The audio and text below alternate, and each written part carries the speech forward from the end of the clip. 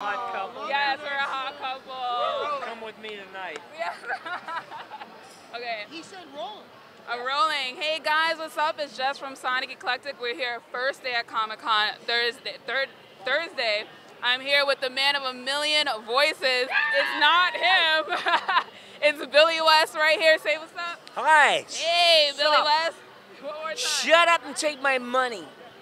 Take his money, guys. I'm serious. Okay, so out of all the voices you have, which are your favorite, Billy West? I would love to tell you that, but I put like so much into every single one of them.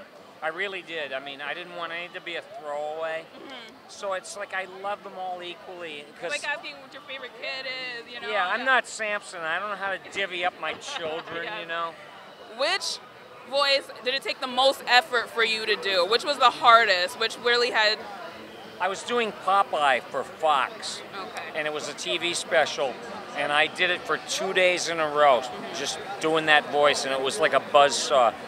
You know, and when I did Ren and Stimpy, that was all screaming too, and I called my wife and and said, "Honey, I'm not gonna be able to do this," you know, because it's killing me. But I found a way to do it.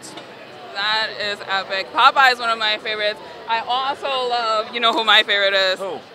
Shut up and take my money. Oh, Philip J. Fry, pizza delivery boy, 25 years old, still doing the same thing in the year 3000. It still sucks. If you could go back to doing any one of the characters one more time, which one would it be? Oh, I, I love the lines that Zapp Brannigan used to have, like, uh, Kiff, alert the men. I've made it with a woman.